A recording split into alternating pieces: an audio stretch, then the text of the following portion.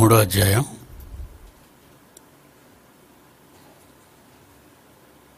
మొదటి నుంచి చూద్దాం. రోమపత్రిక మూడో అధ్యాయం. మొదటి నుంచి. అట్లయితే యూదునికి కలిగిన ఆధిక్యమేమి పైన ఏమన్నాడు? స్వభావమును బట్టి సున్నతి లేనివాడు ధర్మశాస్త్రం అదే. రెండో అధ్యాయంలో ఇరవై ఏడు. చివరి మూడు వచనాలు. స్వభావమును బట్టి సున్నతి లేనివాడు ధర్మశాస్త్రము నెరవేర్చిన ఎడల లేఖనమును సున్నతియు గలవాడనై గలవాడై ధర్మశాస్త్రమును అతిక్రమించి నీకు తీర్పు తీర్చడా? బాహ్యమునకు యూదుడైన వాడు యూదుడు కాడు. శరీరముందు బాహ్యమైన సున్నతి సున్నతి కాదు. అయితే అంతరంగమందు యూదుడైన వాడే యూదుడు. మరియు సున్నతి హృదయ సంబంధమైనదై ఆత్మయందు జరుగునదే గాని లేఖనముల వలన కలుగునది కాదు. అట్టి వానికి మెప్పు మనుషుల వలన కలుగదు దేవుని వలననే కలుగును. అక్కడతో మూడో అధ్యాయం ఆపాడు. రెండో అధ్యాయం ఆపాడు. మూడో అధ్యాయం ప్రారంభోసరికి అలా అయితే అట్లయితే యూదునికి కలిగిన ఆధిక్యమేమి? యూదులు యూదులు యూదులు అంటున్నారు కదా వాళ్ళకున్న ఆధిక్యం అయితే మేము మేము అంత గొప్పవాళ్ళమే ఇంత గొప్పవాళ్ళమే అలాంటి వాళ్ళం ఇలాంటి వాళ్ళమే. ఫేస్ ఎరిపోయిపోయింది చూడండి ఆయన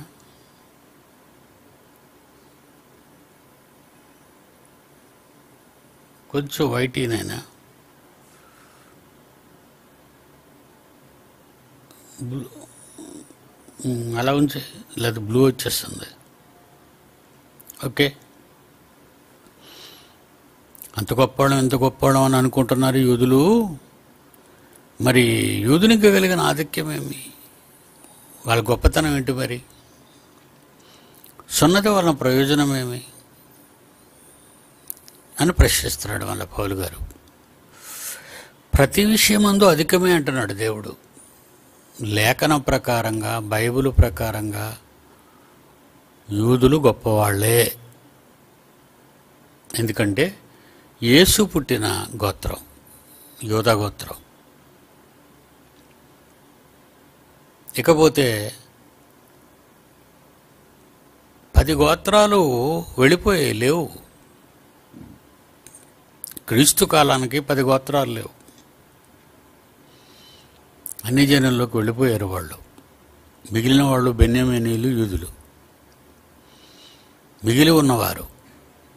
శేషములో ఉన్నవారు అనొచ్చు వీళ్ళని. దేవుడు శేషించిన వారిలో ఇస్రాయేలీలో యూదులు ఉన్నారు. వాళ్ళు గొప్పతనమే కదా.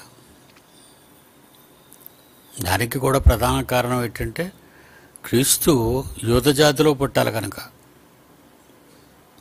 అందు గురించి యుధగోత్రం కాపాడబడింది. రేపు సండే స్కూల్ ఉంటుంది పిల్లలు మర్చిపోకండి. పిల్లలు సండే స్కూల్ ఉంటుంది మర్చిపోకండి. యేసు యుధగోత్రంలో పుట్టినవాడు. కనుక శేషింపబడ్డారు వాళ్ళు. మిగిలి ఉన్నారు అని. ప్రతి విషయం ముందు అధికమే అంటున్నాడు రెండవ వచనంలో. మొదటిది నెంబర్ వన్ ఏంటంటే దేవోక్తులు యూదుల పరమ చేయబడను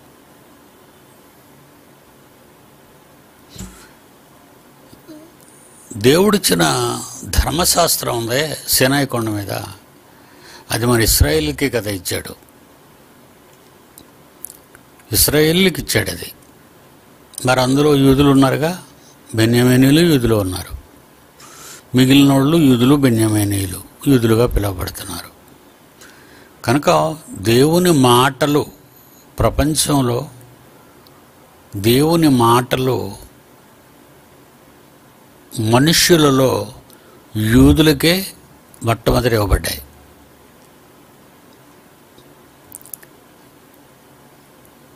మిగతా గ్రంథాల గురించి మనకు అవసరం లేదు. బైబిల్ రాయబడింది అంటే దేవుడు చెప్పిన మాటలు పరిశుద్ధాత్మ దేవుని ద్వారా వ్రాయబడ్డాయి తప్ప మనుషులు రాశారు విన్నది రాశారు. మోషే దగ్గర నుంచి ఆదికాండం. అరవై ఆరో పుస్తకమైన ప్రకటన గ్రంథం వరకు యోహాను గారు జబదయ్ కుమారులో ఒకరాని యోహాను గారు. సుమారు నలభై రెండు మంది అని అంచనా వేశారు. ఈ నలభై రెండు మంది కూడా మనుషులే. విన్నది చూసింది రాశారే తప్ప వాడు సొంతంగా ఏమి చెప్పలేదు. బైబిల్లో ఉన్న వచనాలు బట్టి. ప్రవచనం ఎప్పుడునూ మనుష్యుని ఇచ్చను బట్టి కలగలేదు.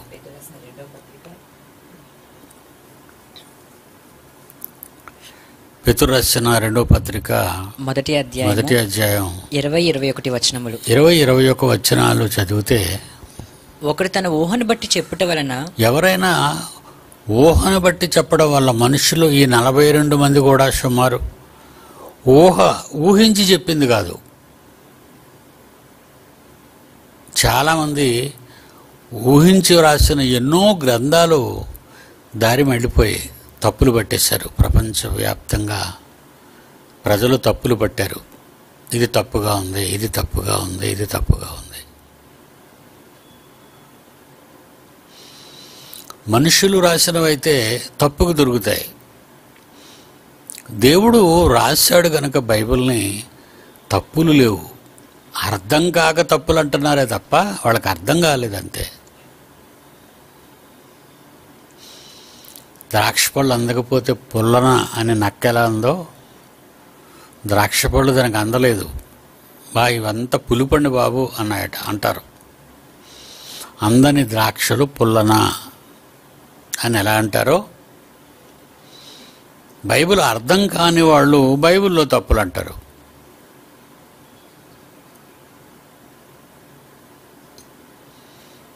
కనుక బైబిలు మనుషులు రాసినవి కావు. మహిషా నుండి యోహాను గారి వరకు సుమారు నలభై రెండు మంది రాశారు.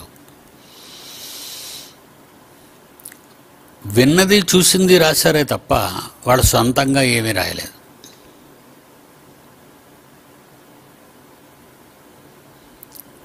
తప్పులు అన్నవి తప్పులు లేవు అందుకే.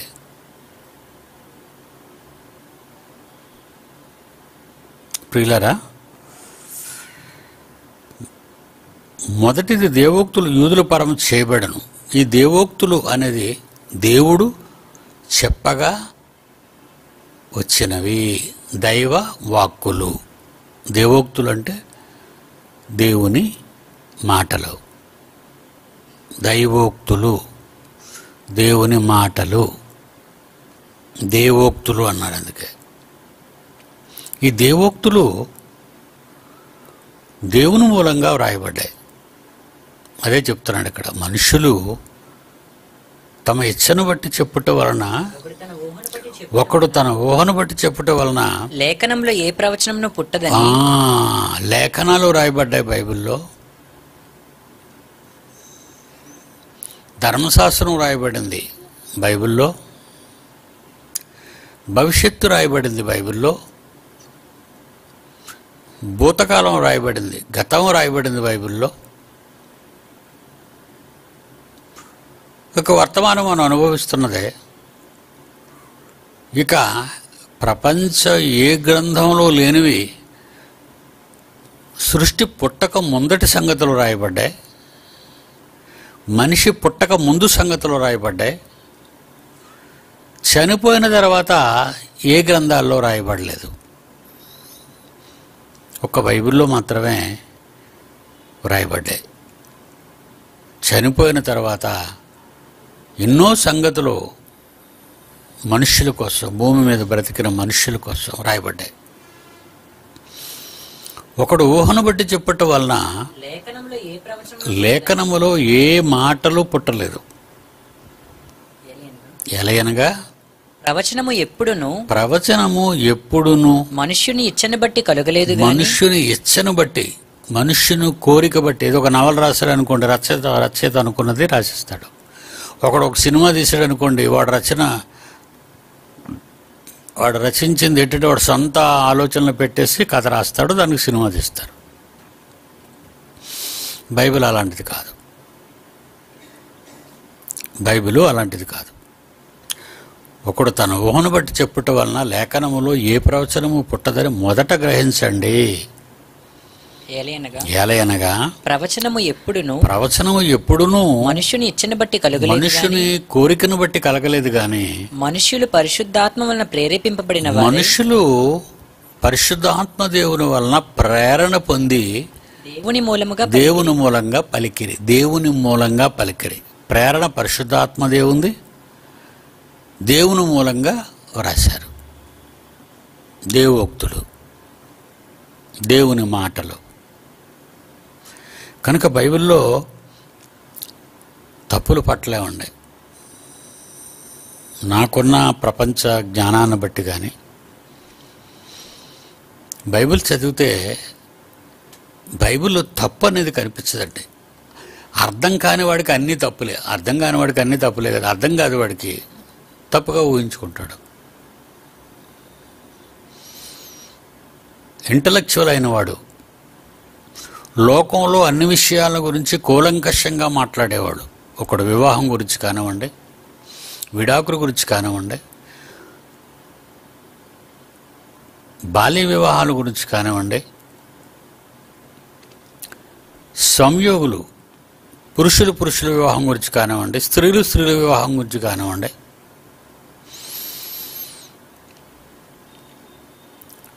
ప్రపంచంలో ఉన్న అన్ని విషయాలు ఒక చరిత్ర గురించి కానివ్వండి ఒక శాస్త్రం గురించి కానివ్వండి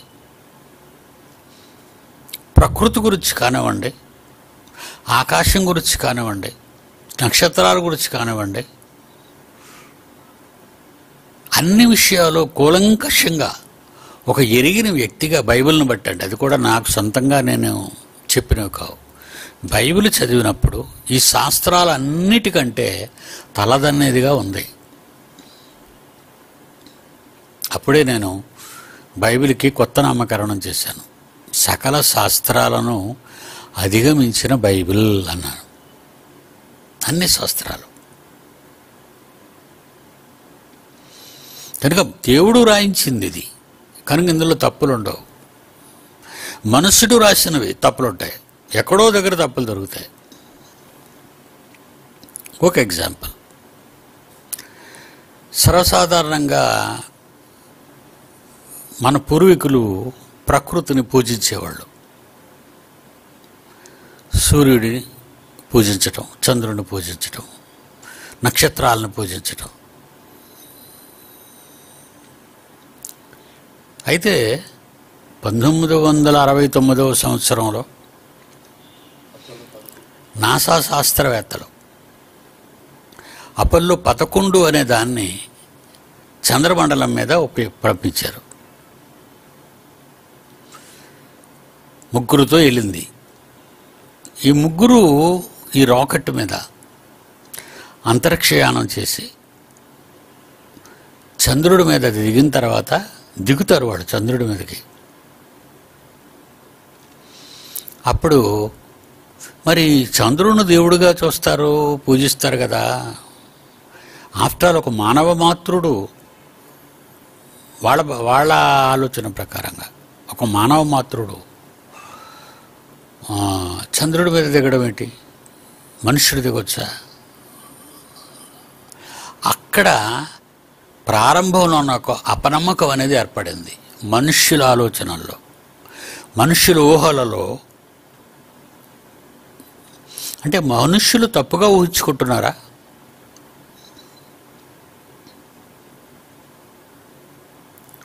ఒక ఆత్మ ఉందనుకోండి ఆత్మను మనం ఏ ఆత్మని మనం చూడలేమండి. చూడలేము అన్నాడు బైబిల్లో. కనిపించవు ఆత్మలు. కనుక చనిపోయిన తర్వాత ఎవరు కనిపించరు. నాకు ఆత్మ కనిపించింది అన్నారనుకోండి ఇప్పుడున్న మానవాళి ఇప్పుడున్న మానవాళి. కనిపించదని బైబిల్ చెప్పిన తర్వాత ఈయన కనిపించిందంటే ఒకటే నిజం ఉంటుంది. నిజాలు రెండు ఉండవు నిజాలు రెండు ఉండవు ఒకటే. ఆన్సర్ ఈజ్ వన్ రెండ్రెళ్ళు నాలుగు. లేదండి రెండ్రెళ్ళు ఐదు కూడా అవుతుంది అని ఎవరైనా అన్నారనుకోండి మనం నమ్ముతామా? నమ్మవండి. రెండు నెలలు ఐదు అవ్వదు రెండు నెలలు నాలుగే అవుతుంది. ఆన్సర్ ఒకటే ఉంటుంది. ఆత్మ ఆత్మలు అనేవి మానవ నేత్రాలకు కనిపించవని బైబిల్లో రాయబడిన తర్వాత ఆత్మలు కనిపిస్తాయి. మీడియా వాళ్ళు అప్పుడప్పుడు ఆత్మలు కనిపిస్తాయని. అప్పుడప్పుడు న్యూస్లు చెప్తుంటారు. ఎక్కడో ఒక ఆకారం తిరుగుతున్నట్టు. అదంతా అబద్ధం అండి. అంత ఖచ్చితంగా ఎందుకు చెప్తారంటే కనిపించవని దేవుడు రాయించాడు. కనిపించవని లోకాలను కలుగు చేసిన దేవుడు రాయించాడు కనుక దేవుడు చెప్పింది నిజం అవుతుంది కానీ మనుషులు చెప్పింది నిజం కాదు.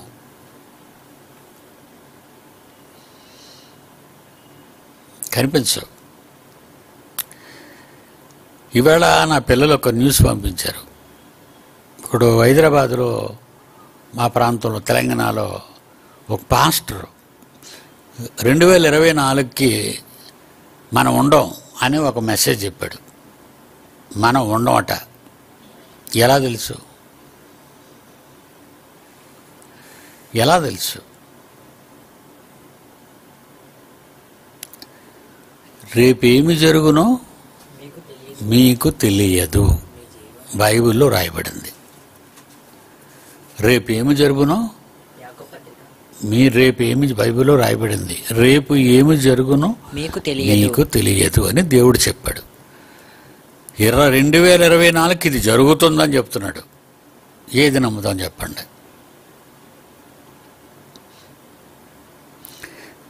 ఓ న్యూస్ వాళ్ళంతా కూడా తప్పుబట్టి అతన్ని గొడవ చేస్తున్నారు. చేయొచ్చు తప్పేం లేదు. తప్పు చేసిన వాడిని తప్పు పట్టచ్చు. తప్పు అని నేను ఎప్పుడు అన్నా. రాంగ్ ఈజ్ ఆల్వేస్ రాంగ్ తప్పు ఎప్పుడు తప్పే. రైట్ ఈజ్ ఆల్వేస్ రైట్ నిజం అనేది ఎప్పుడు నిజమే. అబద్ధం అనేది ఎప్పుడు అబద్ధమే. నిజం అనేది ఎప్పుడు నిజమే. మనుషుల నోట అబద్ధాలు రావచ్చు కానీ దేవుని నోట అబద్ధం రాదు. దేవోక్తులు బైబిల్. రెండు వేల ఇరవై నాలుగు. మరి యుగాంతం ఎప్పుడు జరుగుతుందని రెండు వేల పన్నెండు. మీకు గుర్తుంది కదా యుగాంతం జరిగిపోద్ది రెండు రెండు వేల పన్నెండు రెండు వేల. పన్నెండు డిసెంబరు ఇరవై ఒకటి ఇరవై ఒకటి అన్నప్పుడు నేను సవాలు విసిరాను ప్రపంచానికి దీనికి శాస్త్రవేత్తలను కూడా జోడించి మయన్మార్ క్యాలెండర్ బట్టి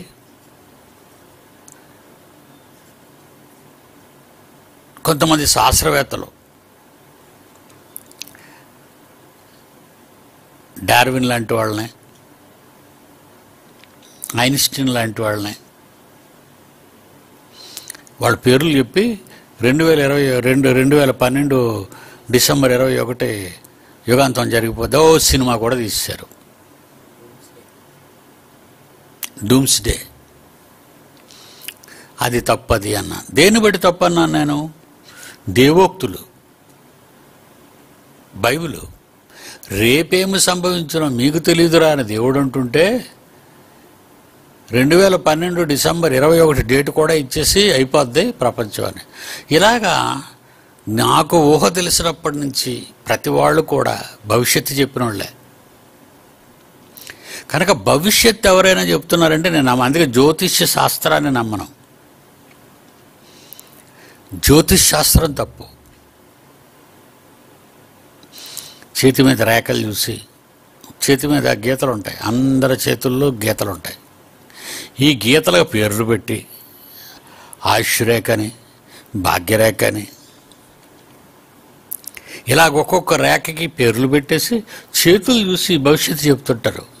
జ్యోతిష్యులు చిలక జ్యోతిష్యుల దగ్గర నుంచి చెట్టు కింద కూర్చొని చిలకను పంపించి కార్డు తీస్తాడే అక్కడ నుంచి పెద్ద పెద్ద బాబాల వరకు పేరున్న బాబాలు భవిష్యత్తు చెప్పడం మొదలుపెట్టారు. అదంతా తప్పు అంటాను నేను. అదంతా హండ్రెడ్ పర్సెంట్ తప్పు. ఎందుకంటే దేవుడు లోకాలను కలిగి చేసిన దేవుడు అన్నాడు రేపేం జరుగుతుందో నీకు తెలియదు అన్నాడు.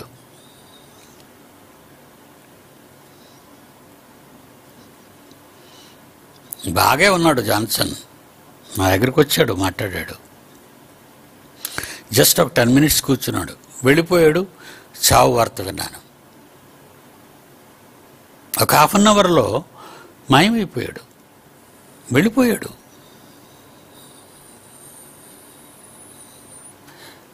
రేపేమి సంభవించినో మీకు తెలియదు మీరు ఎంతలో కనబడి? మీ జీవం ఏపాటిది మీరు కొంతసేపు కనబడి కొంతసేపే కనబడతారు. అంతలో మాయమైపో అంతలోనే మాయమైపోతారు. ఆవిరి వంటి వారే. ఆవిరి ఆవిరి లాంటి వాళ్ళు మీరు. ఆవిరి ఇలా పొయ్యిలోంచి మీ- మీ వంట పాత్రలోంచి బయటకు వస్తుంది. మళ్ళా కనబడదు. భవిష్యత్తు ఎవరికి తెలియదు? ఇదంతా నేను ఎందుకు చెప్తానంటే భవిష్యత్తు ఎవరికి తెలియదు. కనుక భవిష్యత్తు గురించి చెప్పే వాళ్ళందరిది తప్పంటాను.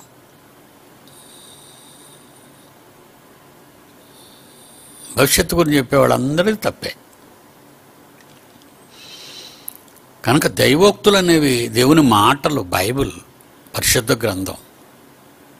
నిజంగా ఇది చాలా ఉత్తమమైన దేవుని నోట నుండి వచ్చిన మాటలు కలిగిన పుస్తకం. ఈ దేవోక్తులట మొట్టమొదట ఎవల పరం చేయబడ్డాయి? ఎంత దృష్టివంతులు యూదులు మీకు తెలుసుగా నిర్గమాకాండం మనం చదువుకుంటున్నాం. ఈజిప్ట్ నుంచి ఎర్ర సముద్రాన్ని దాటించి అరణ్య ప్రయాణం చేయించి సినాయి కొండ దగ్గర తీసుకొచ్చి మోషే గారు కొండ మీదకి వెళ్ళి ధర్మశాస్త్రాన్ని రాతి పలకల మీద తీసుకొచ్చారు. మొదట దేవోక్తులు సినాయి కొండ మీద నుంచి మోషే గారు తీసుకొచ్చారు కిందకి. అవి ఇస్రాయేలీలకు మాత్రమే మనకు కాదు. ప్రపంచంలో మిగిలిన వంశాలు కానీ మిగిలిన జాతుల ప్రజలకు కానీ కాదు అది. ఇస్రాయేలీలకు మాత్రమే. ఆ మాట జ్ఞాపకం ఉంచుకొని మొదటి దేవోక్తులు యూదుల పరము చేయబడెను.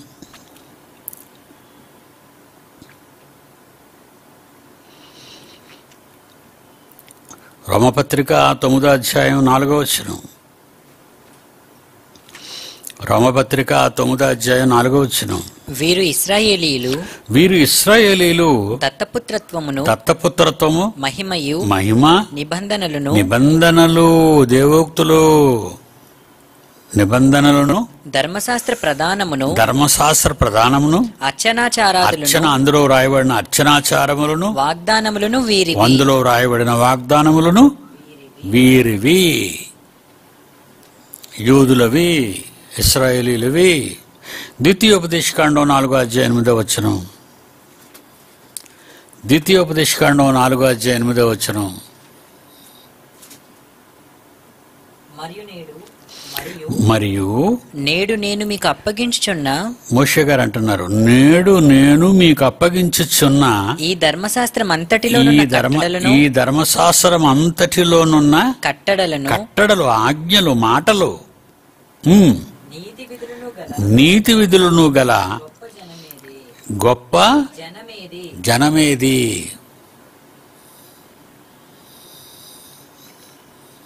కీర్తన గ్రంథం నూట నలభై ఏడు పంతొమ్మిది ఇరవై.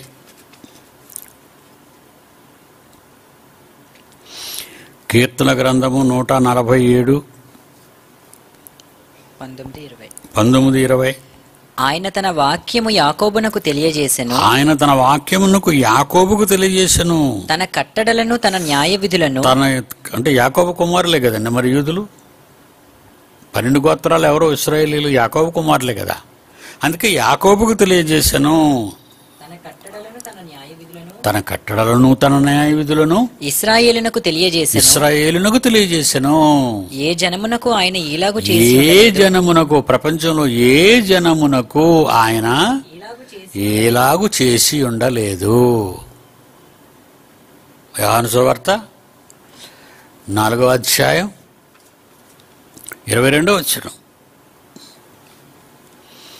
యోహాను సువార్త నాలుగో అధ్యాయం ఇరవై రెండు. రక్షణ యూదులలో నుండియే కలుగు రక్షణ యూదులలో నుండియే కలుగుచున్నది అంటే యూదులలో క్రీస్తు పుట్టాడు క్రీస్తు వలన ఆయన రక్తం వలన మనము రక్షింపబడ్డాము ప్రోక్షింపబడ్డాము పాపాలు కడిగివేయబడ్డాయి. రక్షణ యూదులలో నుండియే కలుగుచున్నది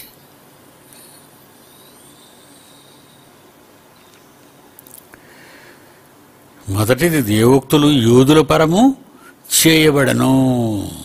వీళ్ళలో కొందరు అవిశ్వాసులైననేమి? పాఠంలోకి వెళ్ళిపోయాం. వీళ్ళలో కొందరు అవిశ్వాసులైననేమి? వారు అవిశ్వాసులైనందున దేవుడు నమ్మదగిన వాడు కాకపోవునా?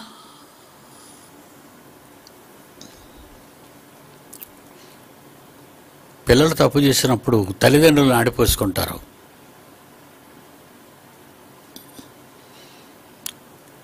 పిల్లలు తప్పు చేస్తున్నప్పుడు ఎవరిని ఆడిపోసుకుంటారు? తల్లిదండ్రుల్ని. ఎవర్రా బాబు కన్నారు ఇలాంటి వాడిని వాళ్ళు ఏం చేశారు? కానీ మీరు తప్పులు చేయండి రా అంటారా? ఏ తల్లిదండ్రులైనా? ఏ కన్న తల్లైనా ఏ కన్న తండ్రి అయినా అండండి ఎవరో ఎక్కడో ఎవడో పనికిమాలిన వాడు పనికిమాలిన వాళ్ళు అని అనొచ్చేమో. కానీ ఎవరైతే ప్రపంచ ప్రజల్లో తల్లిదండ్రులైన వారు పిల్లల్ని పాడు చేయాలనుకోరండి. అలాగా యూదులు అవిశ్వాసులైనంత మాత్రాన్న దేవోక్తులు వారి పరమ చేయబడినంత మాత్రాన్న దేవుడు నమ్మదగినవాడు కాకుండా పోడు నమ్మదగినవాడు.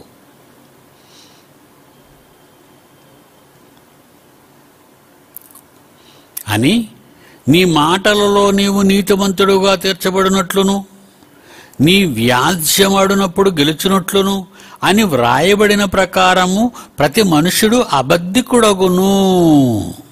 గాని దేవుడు సత్యవంతుడు కాకతీరడు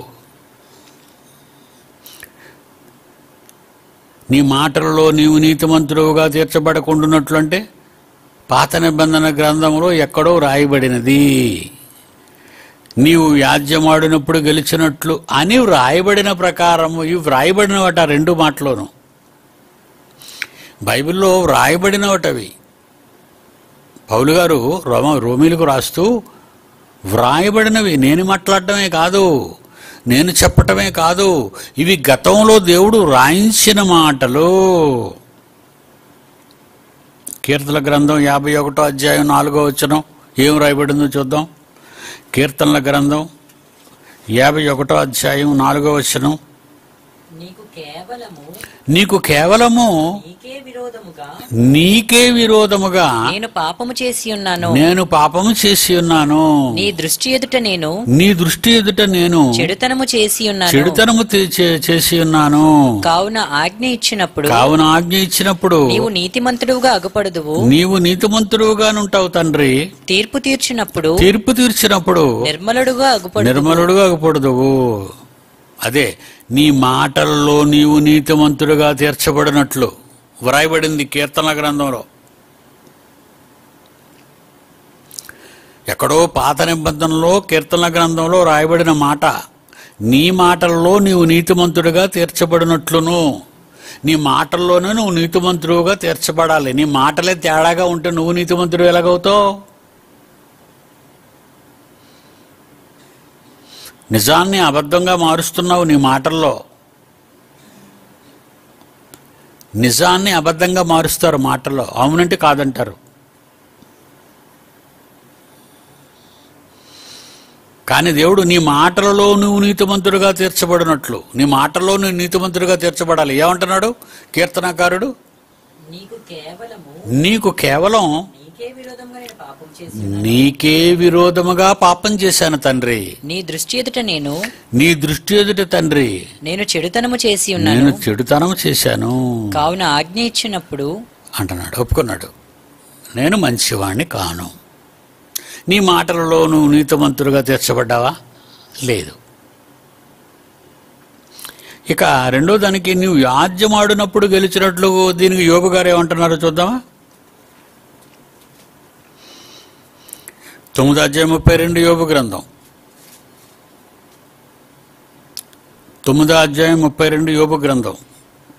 ఆయన నావలే నరుడు కాడు. దేవుడు నావలే నరుడు కాడు. నేను ఆయనతో వ్యాజ్యమాడరాలను. నేను ఆయనతో వ్యాజ్యమాడజాలను. వ్యాజ్యమాడజాలను. మేము కలిసి న్యాయ విమర్శకు పోలేము. మేము కలిసి న్యాయ విమర్శకు పోలేము. ఏమన్నాడు? ఆయన దేవుడు మనవలే నరుడు కాడు అమ్మో నేను ఆయనతో వ్యాజ్యం తెగించి మాట్లాడటమే ఎదిరించటమే మేము కలిసి ఆయనతో కలిసి న్యాయ విమర్శకు నన్ను వెళ్ళడమా ఆయన న్యాయవంతుడు తండ్రి నువ్వు దేవుడి దగ్గర ఒప్పుకుంటావా? ఎదిరిస్తావా? న్యాయ విమర్శకు వెళ్తావా?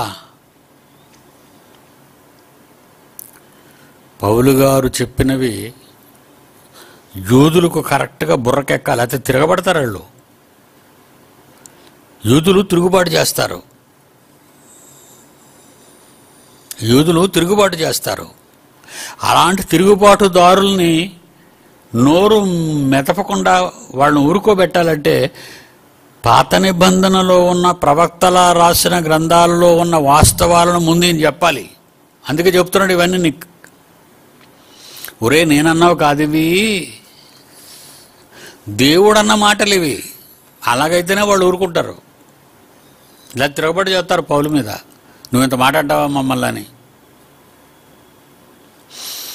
నీ మాటలలో నువ్వు నీతిమంతుడిగా తీర్చబడినట్లును. అంటే ఇక్కడ ఏమన్నాడు మూడో వచ్చిన కొందరు అవిశ్వాసులైననేమి వారు అవిశ్వాసులైనను లైనందున దేవుడు నమ్మదగిన వాడు కాకపోవునా? నువ్వు నేరస్తుడు అయితే దేవుడు నమ్మదగిన వాడు కాడా? నువ్వు తప్పు చేస్తే దేవుడు నమ్మదగిన వాడు కాడా?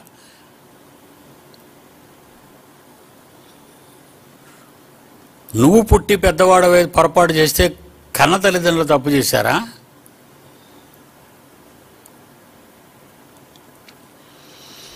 వారు అవిశ్వాసులైనందున దేవుడు నమ్మదగిన వాడు కాకపోవునా? అట్లనరాదు. నీ మాటలలో నీవు నీతివంతుడవై తీర్చబడినట్లును నీవు వ్యాజ్యమాడినప్పుడు గెలిచినట్లును అని వ్రాయబడిన ప్రకారము. ప్రతి మనుష్యుడు అబద్ధికుడగును గాని దేవుడు సత్యవంతుడు కాక తీరడు. బా ఎంత ఎక్స్ప్లెనేషన్ ఇచ్చాడు చూసారండి?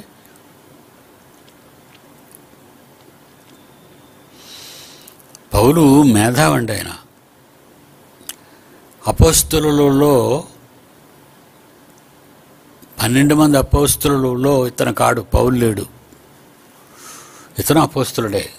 కానీ ఇతడు ధర్మశాస్త్ర పండితుడు. బాగా నేర్చుకున్నాడు. లోక జ్ఞానం నేర్చుకున్నాడు. శాస్త్రజ్ఞానం నేర్చుకున్నాడు. చరిత్ర పాఠవాలు నేర్చుకున్నాడు.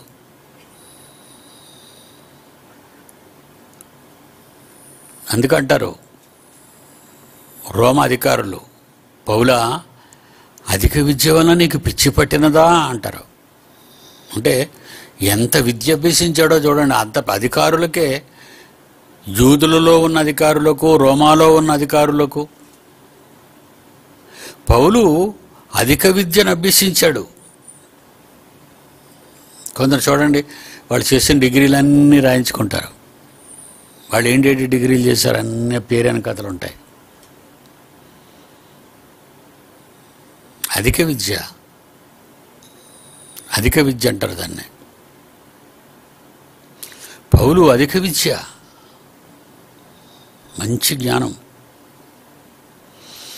ఇటు ధర్మశాస్త్రాన్ని ప్రవక్తల లేఖనాల్ని ప్రవక్తల లేఖనాల్ని బాగా పఠించాడు. మోషే ధర్మశాస్త్రాన్ని డెప్త్లోకి వెళ్ళి ఆలోచించాడు.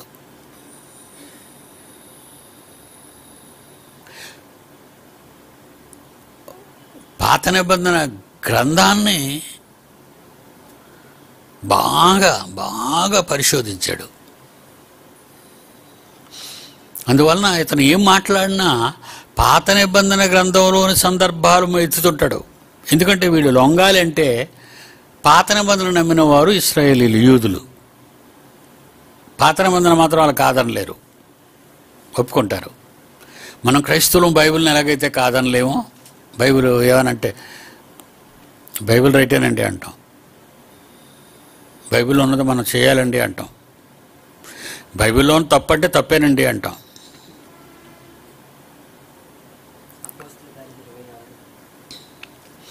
అపస్సుల కార్యాలు ఇరవై ఆరో అధ్యాయం ఇరవై మూడు ఇరవై మూడు ఇరవై నాలుగు వచ్చినాలు మనం చూస్తే అపోస్తుల కార్యాలు ఇరవై మూడు ఇరవై అధ్యాయం. ఇరవై ఆరో అధ్యాయం ఇరవై మూడు ఇరవై ఇరవై మూడు ఇరవై నాలుగు వచనాలు. ప్రవక్తలను మోషేయు ముందుగా చెప్పినవి కాక ప్రవక్తయును మోషేయు ముందుగా చెప్పినవి కాక మరి ఏమియో చెప్పక మరి ఏవియు చెప్పక అల్పులకును ఘనులకును సాక్ష్యమిచ్చుచుంటి అల్పులకును గనులకును నేను సాక్ష్యం చెబుతున్నాను పౌలనే నేను. ఎవరు చెప్పినవి?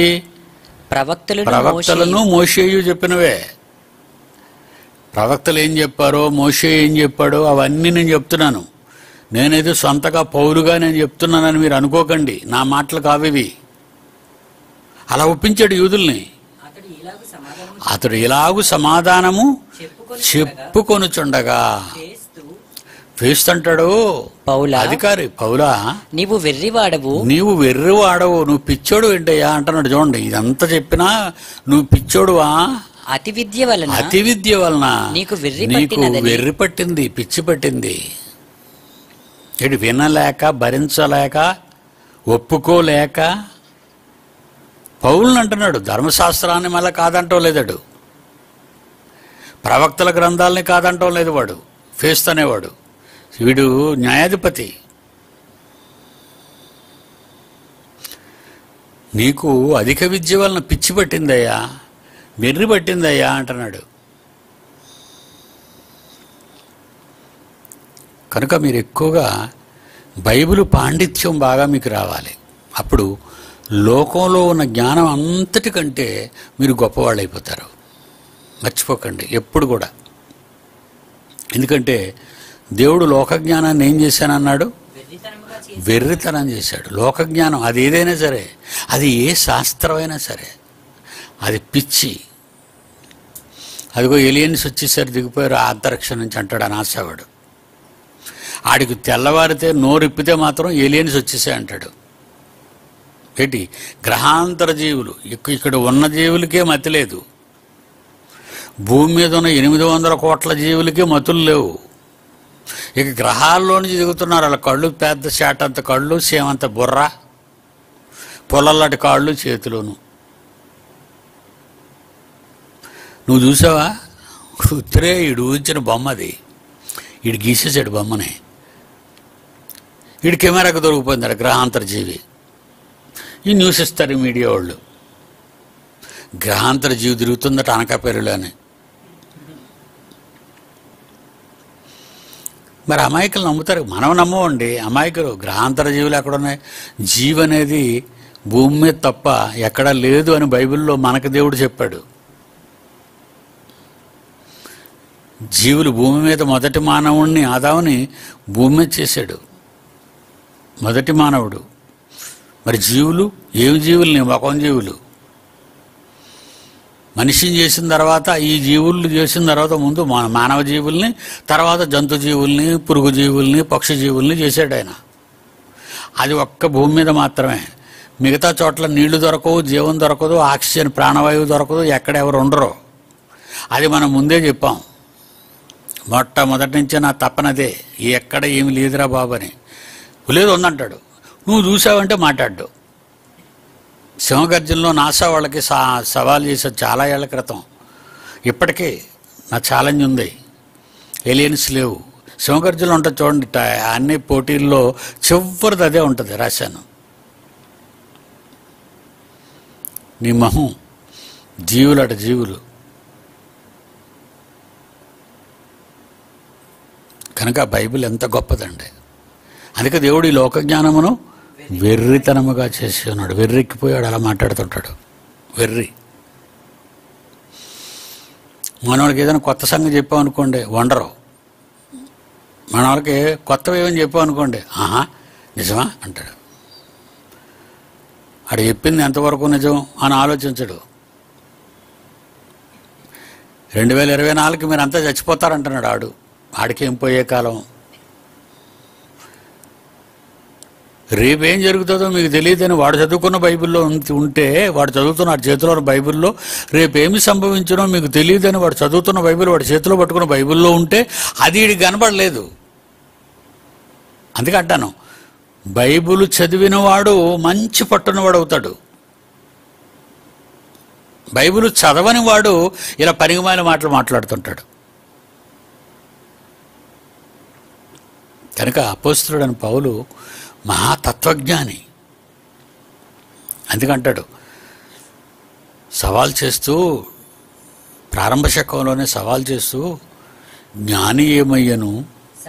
శాస్త్రి ఏమయ్యను ఈ లోకపు ఈ తర్కవాది లోకపు తర్కవాది ఏమని సవాలండి సవాల్ విసురుతున్నాడు. మొదటి కొరింది పత్రిక మొదటి మొదటి అధ్యాయం ఇరవయో వచనం. జ్ఞాని ఏమాయను మొదటి కొరింది పత్రిక మొదటి మొదటి అధ్యాయం ఇరవై వచనం. ఇరవయో వచనం. జ్ఞాని జ్ఞాని ఏమయ్యాను? ప్రపంచాన్ని అడుగుతున్నాడు. జ్ఞానులు ఎవరైనా ఉన్నారా? ఏమైపోయారు? శాస్త్రాలు తెలిసిన శాస్త్రులు ఉన్నారా? వాళ్ళు ఏమైపోయారు? వాళ్ళు కనపడటం లేదేటి? ఈ లోకపు ఈ తర్కవాది లోకపు తర్కవాది ఆర్గ్యుమెంట్ చేసి నాదే నిజమని వాదిస్తుంటారే? వాళ్ళు ఏమయ్యారు? ఈ లోక జ్ఞానమును దేవుడు ఈ లోక జ్ఞానమును దేవుడు వెర్రితనముగా చేసి ఉన్నాడు వెర్రితనముగా కదా. చేసి ఉన్నాడు వాళ్ళందరూ పిచ్చోడు అంటున్నాడు. జ్ఞాని పిచ్చోడు తర్కవాది పిచ్చోడు శాస్త్రి పిచ్చోడు. అవే నన్ను ఆకర్షించాయి ఆ మాటలు. బైబిల్ గొప్పది అనడానికి ఆ రోజుల్లో టూ థౌజండ్ ఇయర్స్ బ్యాక్ అపోస్తుడు పౌరు సవాళ్ళే నా బ్రతుకు ఒక ఆదర్శమయ్యాయి. నాకు ముందు చూపించాయి నాకు భవిష్యత్తు జ్ఞానం ఇచ్చాయి. మీరు కూడా గొప్పవాళ్ళు కావాలి. ఈ మాటలు ఎందరు పిల్లలు వింటున్నారో నెట్ నుంచి. మీరందరూ గుర్తుంచుకోండి మీరందరూ గొప్పవాళ్ళు కావాలి. డాడీ కంటే గొప్పవాళ్ళు మీరు కావాలి. డాడీని చూసి కేరింతలు చప్పట్లు విజిల్స్ కొట్టడం కాదు. నేను డాడీ అంతటి వాడిని కావాలి. ఒక తండ్రిగా నా పిల్లల గొప్పతనం నేను బ్రతుకుంటుండగానే చూడాలి. అది నా కోరిక. God bless you children. చాలా సంతోషం. మొదటి సంవత్సరంలో మొట్టమొదటిసారిగా ఆ కా ఈ తరగతిలో మొదటి తరగతిలో మనం అంతా కూర్చున్నాం. ఈ సంవత్సరం అంతా దేవుడు మనల్ని ఇలా తరగతులకు నడిపించి తన మహాజ్ఞానానికి మనల్ని వారసులుగా చేసి మనల్ని గొప్పవాళ్ళుగా మార్చాలని దేవుణ్ణి కోరుకుంటూ సెలవు తీసుకుందాం. అందరికీ సెలవు అండి.